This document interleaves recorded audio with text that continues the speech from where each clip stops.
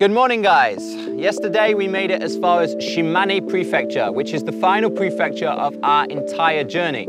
But the adventures still go on because we have to make it to the Oki Islands.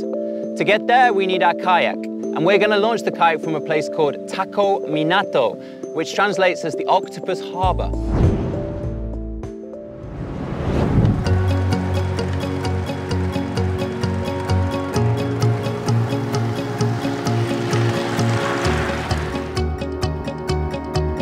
Launch the kayak, the team need to make their way to Shimane's most northern point on the Sea of Japan coastline.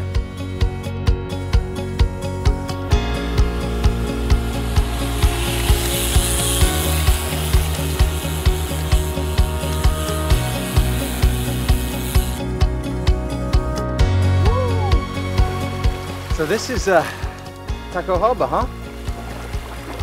How do you do? Where's all the octopus? Local fishermen repair their nets in the sunshine. Crabs, sardines, oysters, sea bream, and squid are all caught here and eaten throughout Japan.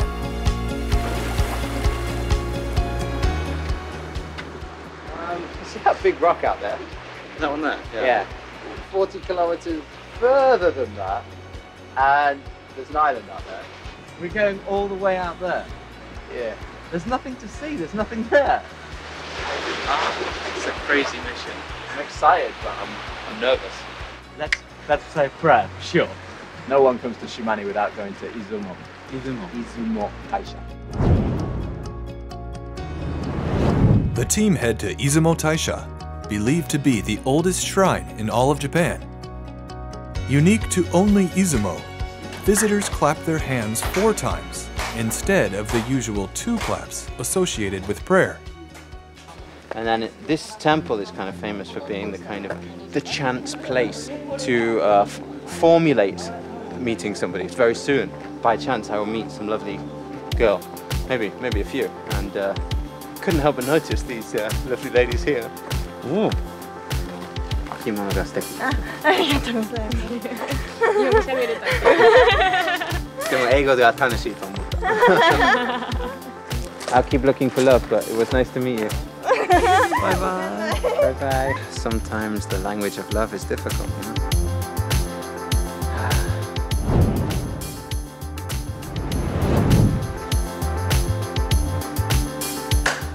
Two claps are performed for yourself, and two are intended for your partner or desired partner. Where is my woman? Here she is. Can I have a hug? Yeah. I want a hug. It's it's incredible. I clap I clap for times and then what's what's your what's your name? Yasuko. And then Yasuko came. Yasuko. Yasuko. Say- Yasuko. Hi. Yasuko. Yasuko. Are you are you from Shimane? No, no, Hiroshima. Uh, this one is the main.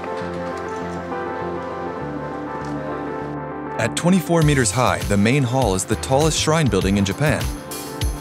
Rabbit statues surround the complex, and the famous myth of the hare of Inaba and how one rabbit aids the god Okuninushi to win the love of Princess Yakami can be heard all over this region.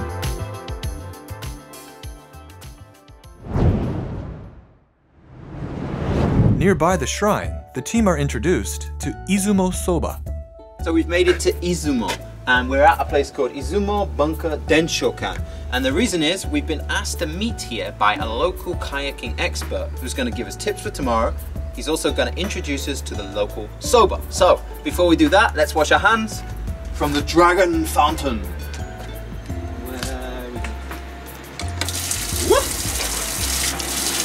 Wow, it's pretty powerful.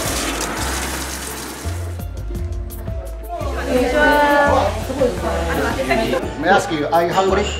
Yes, sir. All right. Always hungry.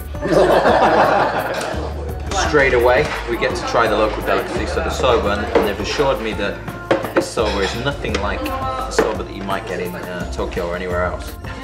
Izumo soba can be eaten warigo style in three-tiered bowls, or simply kamaage style with ingredients added to a single bowl. We need a good slurp.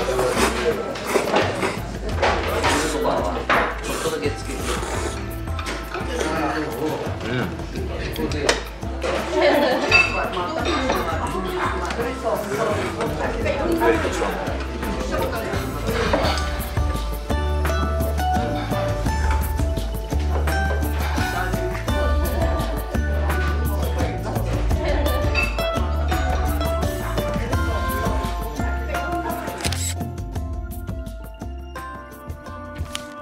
Shinji, the seventh largest lake in Japan, and the ending point for our travelers today. Wow, how fast the day goes by. It feels like just an hour ago that I was on my bike riding across to the Tako Harbor. Then of course we were at the oldest shrine in all of Japan. And now, here we are at Lake Shinji, which happens to be one of the biggest lakes in all of Japan. And quite a peaceful place to end our day. And I imagine the waters are somewhat more peaceful than we're gonna expect out there in the sea tomorrow. Coming up next, Duncan and Dean are in deep water. It's eyeball soup for lunch. And the journey ends at the remarkable Kuniga coast.